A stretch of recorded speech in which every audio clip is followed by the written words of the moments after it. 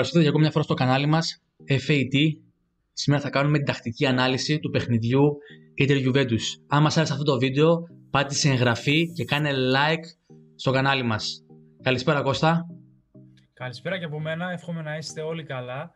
Σήμερα θα ασχοληθούμε με την ατομική επιθετική τακτική του τερνοφύλακα της Ίντερ Χαντάνοβιτς και με την ατομική αμυντική τακτική του τερνοφύλακα της Juventus Σέσνη και θα δούμε πώς θα τα αποκρίθηκαν σε αυτά τα κομμάτια στο συγκεκριμένο παιχνίδι. Παρακαλώ Κώστα. Ευχαριστούμε πάρα πολύ Κώστα. Προχωράμε με μερικά εισαγωγικά στοιχεία.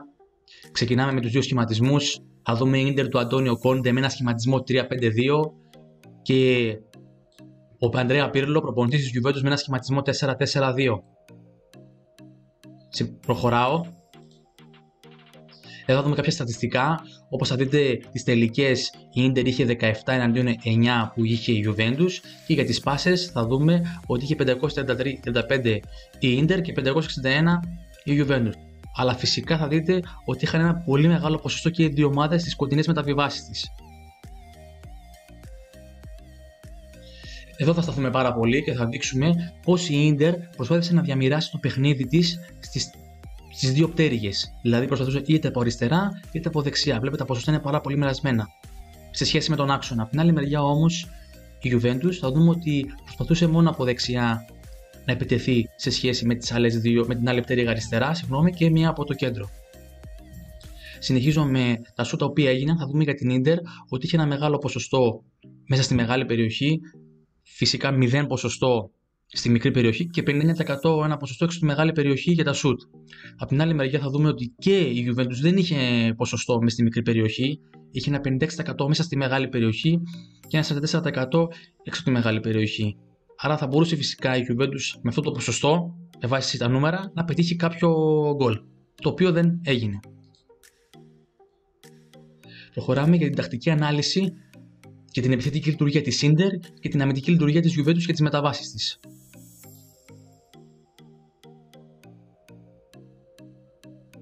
Θα ξεκινήσουμε με το build-up το οποίο κάνει Ίντερ. Θα δούμε εδώ πέρα σε ένα 4-4-2 σχηματισμό η Juventus στη φάση άμυνας και σε ένα 3-5-2 Ίντερ στη φάση επίδεσης. Εδώ θα δούμε πόσο ωραίο επιθετικός half της Ίντερ κινείται στην πλάτη της της δεύτερης ζώνης άμυνας της Juventus. Εδώ θα δούμε μια σχέση 4 εναντίον 1 και παίζουν 1-2 οι παίχτες της Inter και σπάνε την πρώτη ζώνη.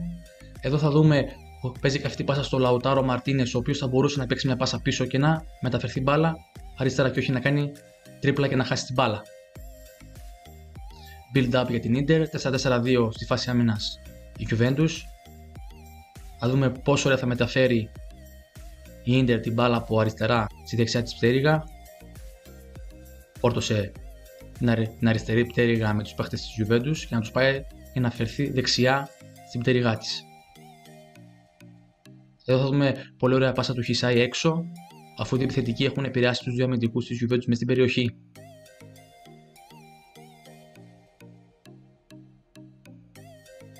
Θα δούμε εδώ πέρα πόσο ωραία συγκέντρωσε αριστερά η Ίντερ τους παίχτες της Juventus και πώς θα γίνει η αλλαγή πλευράς ώστε να πάνε στην αδύναμη πλευρά του αντιπάλου.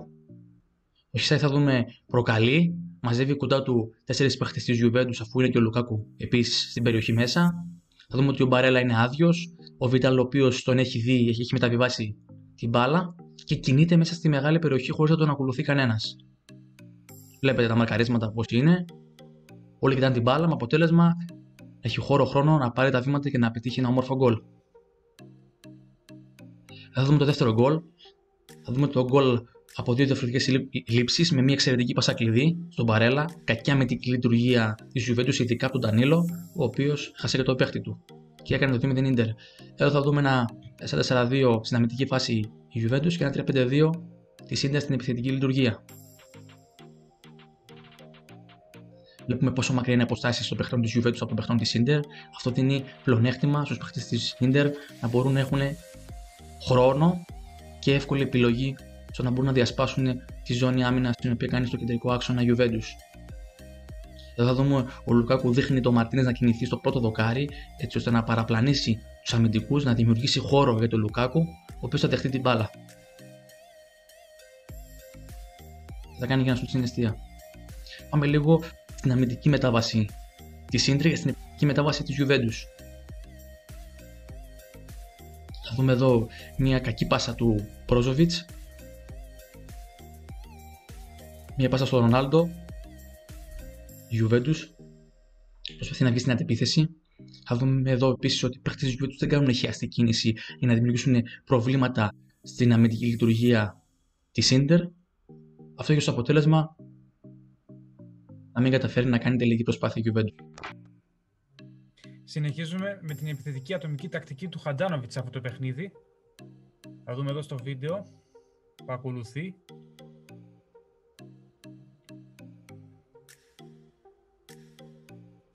Εδώ δεν υποστηρίζει δεξιά και στο βάθος, ώστε να αυξήσει την απόσταση από τους αντιπάλους και να του δώσει χρόνο ενέργειας. Αντίθετα, μένει α, στη θέση του και δείτε εδώ ότι απομακρύνει την μπάλα με πίεση, με αποτέλεσμα εδώ να υπάρχει λανθασμένη μεταβίβαση.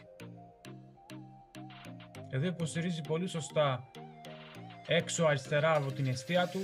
Βλέπετε εδώ δεν αλλάζει, δεν μεταβιβάζει την μπάλα στον δεξί μέσο της ομάδας του παρόλο που σηκώνει το χέρι όπως βλέπετε.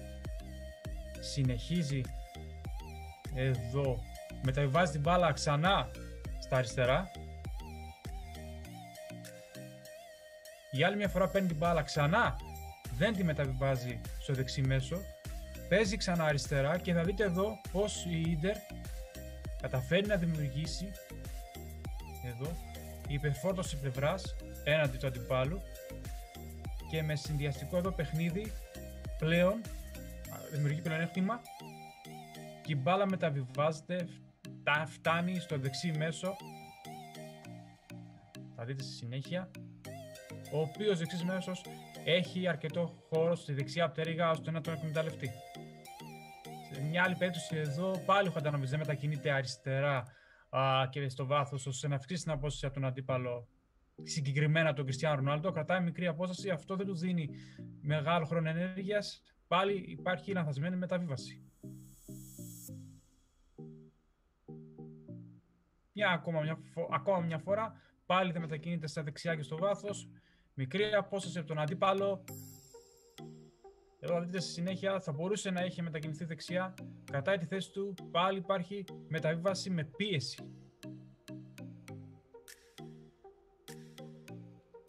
Εδώ κινείται δεξιά και στο βάθος αυξάνει την απόσταση. Θα μπορούσε όμως να είχε πάρει καλύτερη τοποθέτηση νωρίτερα πριν του μεταβιβάσει ο συμπαίκτης του μπάλα. Και όπω βλέπουμε εδώ στο γράφημα, εφόσον είχε τοποθετηθεί πιο πολύ στο βάθος, θα μπορούσε να είχε μεταβίβαση της μπάλας στο δεξί μέσο. Παρ' όλα αυτά, επιλέγει μια μεταβίβαση κεντρικά περίπου στο κεντρικό τρίτο, λανθασμένη. Εδώ με πολύ μεγάλη ψυχραιμία μεταβιβάζει την μπάλα μεταξύ των δύο αντιπάλων και μεταξύ των γραμμών. Πολύ εύστοχα. Συνεχίζουμε με την επιθετική λειτουργία της Juventus και την αμυντική λειτουργία της Inter για τις μεταβάσεις της, αντίστοιχα. Πάμε επιθετική φάση. Να δούμε ότι η Inter αμήνεται με ένα 5-3-2. Όσο καλά είναι οι αποστάσεις μεταξύ τους. Δυσκολεύεται η Juventus να βρει λύσεις δεν υπάρχουν ελεύθεροι παίχτε, αναγκάζεται να μεταφέρει την μπάλα από δεξιά στα αριστερά. Παρατηρείτε φυσικά εσείς την Ίντερ πόσο ωραία κινείται. Μια αλλαγή πλευράς η οποία κάνει η Juventus να δυσκολέψει τα αμυντική για της Ίντερ, αλλά θα δούμε ότι οι πέντε παίχτε είναι πάρα πολύ καλά στην ευθεία. Προσπαθεί η Juventus να κινηθεί προς τον άξονα, αλλά θα δούμε εκεί ότι υπάρχει διπλό μαρκάρισμα. Και οι παίκτες της Juventus τη Σιίντερ κλέβουν την μπάλα, συγγνώμη. Βλέπουμε εδώ πέρα πάρα πολύ ωραία αμυντική λειτουργία της Ίντερ 5-3-2, πολύ καλή συνοχή των γραμμών, κοντινές οι αποστάσεις. Βλέπουμε πόσο πολύ δυσκολεύεται να βρει λύσεις η Juventus. Αναγκάζεται να πέσει μια μεγάλη μεταβίβαση. Εδώ θα δούμε πόσο γρήγορα επιστρέφουν οι παίχτες της Ίντερ να ξαναοργανωθούν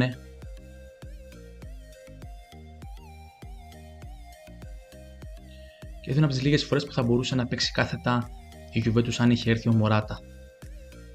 Το οποίο δεν έγινε.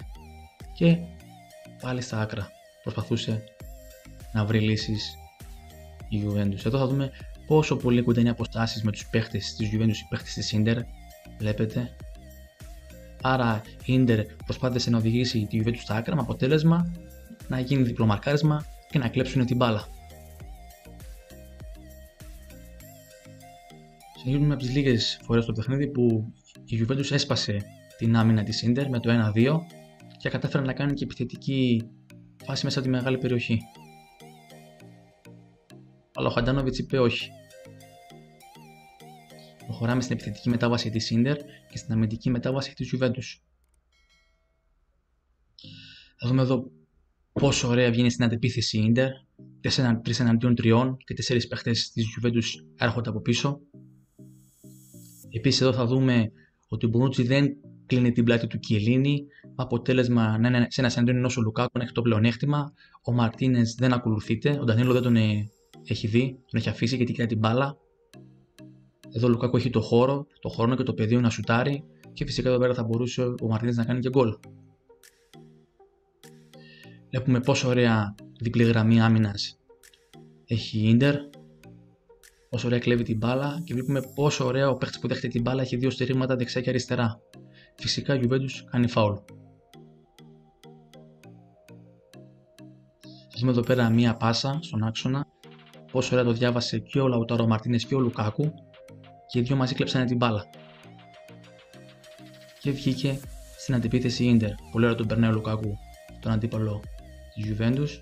Εδώ θα μπορούσε ο Λουκάκου να κάνει το πρώτο χρόνο σουτ και όχι να δώσει χρόνο και χώρο στον Μπουνούτσι ώστε να κινηθεί για να μπλοκάρει το σουτ το οποίο έγινε. Συνεχίζουμε την αμυντική ατομική τακτική του Σέσνη σε αυτό το παιχνίδι. Θα δούμε εδώ στο βίντεο.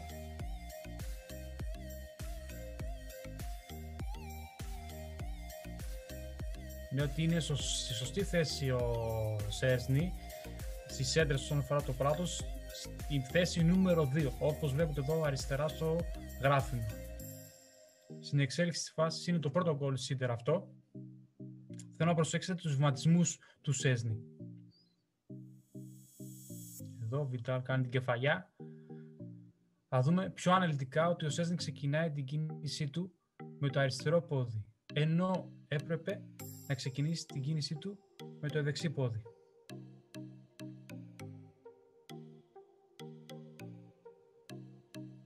στην εξέλιξη. Εδώ βρίσκει, είναι σε ισορροπία λίγο πριν την κεφαλιά. Πολύ σωστά. Αλλά η κεφαλιά είναι πολύ ποιοτική και δυνατή και δεν το αφήνει, δεν το αφήνει περιθώριο αντίδρασης. Το πάλι σε φάση άμυνας, δίνει οδηγίες με το χέρι ο Σέσνη. Άρα έχει έλεγχο της περιοχής του του επιτρέπει αυτό η θέση του. Θα δείτε εδώ στην εξέλιξη του βίντεο ότι παρόλο που η αμυντική του γραμμή ε, ανεβαίνει πιο ψηλά, δεν την ακολουθεί αυτός. Θα έπρεπε να βρίσκεται στον αριθμό 4, λίγο πιο έξω από την αιστεία του. Στην εξέλιξη της φάσης θα δείτε ότι η μπάλα μπαίνει μέσα στην περιοχή. Εδώ, το δεξί, δεξί πόδι. Θα δείτε λίγο τη ζώνη στο σουτ ότι βρίσκεται σωστά όσο η μπάλα μέσα στην περιοχή στον αριθμό 1, στη maximum δυνατή απόσταση από την μπάλα και τον αντίπαλο, ώστε να έχει μεγαλύτερο χρόνο αντίδρασης.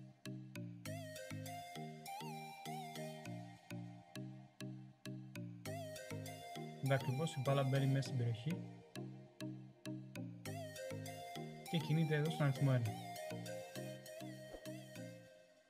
Εδώ δείτε ότι είναι αρκετά πίσω και είναι πολύ, έχει μεγάλη απόσταση από αυτό το κενό εδώ ανάμεσα στους δύο αμυντικούς του, το οποίο αν ε, μπορούσε να το εκμεταλλευτεί επιθετικά ίντερ, μεταβιβάζοντας την μπάλα στο κενό χώρο και εκμεταλλεύοντας το αυτό ο παίχτης που βρίσκεται μέσα στην περιοχή, θα έχει πρόβλημα. Θα έχει πρόβλημα ώστε να βγει και να περισπιστεί την περιοχή του συγκεκριμένα.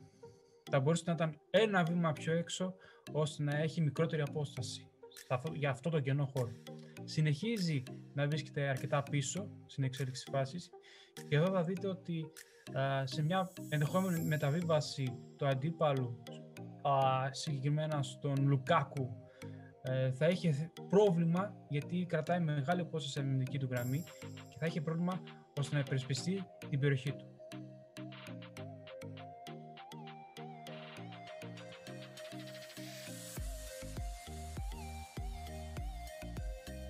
Στην εξέλιξη του βίντεο θα δείτε ότι εδώ ακριβώς. Εδώ. Τώρα παίρνει σωστή θέση. Τώρα βρίσκεται στη σωστή απόσταση από την αμυντική του γραμμή.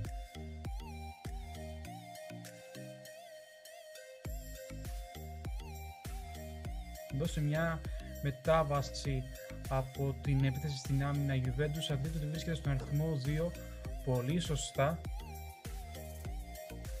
Εδώ σε σου του Λουκάκου αυτό γιατί υπάρχει ενδεχόμενο να υπάρξει μεταβίβαση μέσα στην περιοχή σε αντίπαλο ώστε να έχει χρόνο να βγει σε ενδεχόμενο τέτ. Βέβαια η απόκριση του θα μπορούσε να ακολουθήσει όπως βλέπετε εδώ πέρα την άσπρη, το άσπρο βελάκι, την άσπρη γραμμή και όχι την κόκκινη λαθασμένα απόκρουσε μπροστά και ο αντίπαλος εδώ με εξωτερωμένο τον ίδιο κάτω αστόχησε για καλή του τύχη.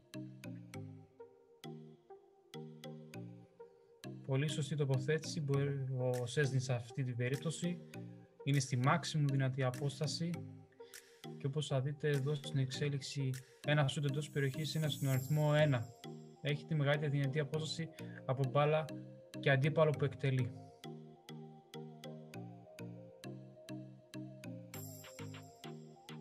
Εδώ έχει και λαβή της μπάλας με πτώση.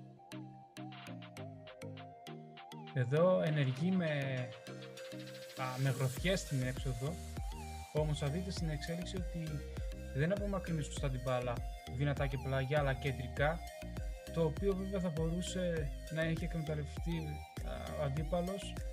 Στο σούτο όμως θα δείτε στην εξέλιξη της φάσης ότι κοντράρει σε έναν αμυντικό και έρχεται στάθηκε τυχερός ο Σέσνη, έχει την μπάλα στα χέρια του. Τώρα θα δούμε ότι ακριβώς είναι σωστή θέση στο νούμερο 4 όσον αφορά το γράφημα με τις θέσεις που σας έδειξα πριν. Πολύ σωστή τοποθέτηση σε αυτή την περίπτωση από το Σέσνη.